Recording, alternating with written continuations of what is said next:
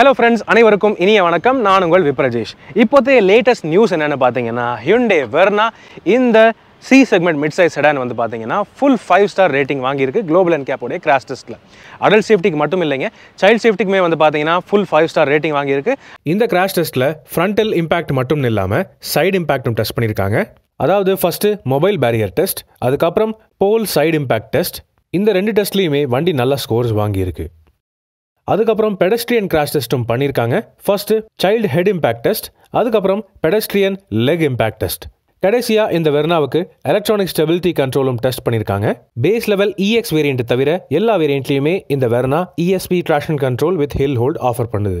அதாவது சைல்ட் சேஃப்டிக்கு வந்து பார்த்தீங்கன்னா ஃபார்ட்டி நைன் ஸ்கோருக்கு ஃபார்ட்டி டூ ஸ்கோர் வாங்கியிருக்கு. அதே வந்து அடல்ட் சேஃப்டிக்கு முப்பத்தி நாலு மேக்ஸிமம் ஸ்கோருக்கு இருபத்தி எட்டு புள்ளி பதினெட்டு வாங்கியிருக்கு. ஸோ ஃபைவ் ஸ்டார் ரேட்டிங் வாங்கியிருக்கிற மிட் சைஸ் செடானில் இந்த ஹியூண்டே வெர்னாவும் ஒன்று ஆகிருச்சு. ஃபர்ஸ்ட் வந்து பார்த்தீங்கன்னா ஃபோக்ஸ் வேகன் வர்டஸும் ஸ்கோடா ஸ்லாவியாவும் வருது. அதுக்கு அடுத்து பார்த்தீங்கன்னா இந்த ஹியூண்டே வெர்னா வருது. இந்த வண்டியில் இருக்கக்கூடிய சேஃப்டி ஃபீச்சர்ஸ் அப்படின்னு பார்த்தீங்கன்னா நமக்கு பேஸ் வேரியண்ட்லேருந்தே ஆர் ஆர் பேக்ஸுங்கிறது ஸ்டாண்டர்டாக வருது. மற்றும் ESP traction control hill hold assist அந்த ஆக்டிவ் சேஃப்டி ஃபீச்சர்ஸ் எல்லாமே ரெண்டாவது வேரியண்ட்லேருந்தே கொடுக்குது இந்த ஹியூண்டே வெர்னா உங்களுக்கு ஒரு ப்ராப்பரான ஃபேமிலி கார் சேஃப்டி கான்ஷியஸான ஒரு நல்ல ஃபேமிலி செடான் வேணும் அப்படின்னு நினச்சிங்கன்னா இந்த ஹியுண்டே வெர்னாவை தாராளமாக நீங்கள் பர்ச்சேஸ் பண்ணிக்கலாம்.